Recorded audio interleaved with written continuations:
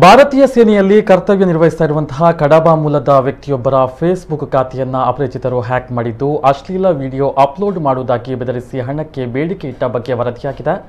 ಕಡಬಾ ಮೂಲದ ಪ್ರಸ್ತುತ ಪಂಜಾಬ್ನ ಫರೀದ್ ಕೋರ್ಟ್ನಲ್ಲಿರುವಂತಹ ಸತ್ಯರಾಜ್ ಅವರ ಫೇಸ್ಬುಕ್ ಖಾತೆಯನ್ನ ಹ್ಯಾಕ್ ಮಾಡಿರುವುದಾಗಿದೆ.